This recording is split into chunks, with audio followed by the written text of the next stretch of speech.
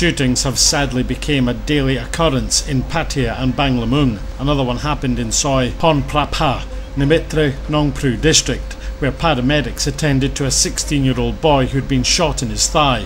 They stopped the bleeding and transferred him to the Banglamung hospital. The boy told police that he and his friends were hanging out in the Soi when two men from a rival gang, known as Head and Hod, came down the Soi on their motorbike, brandishing a gun.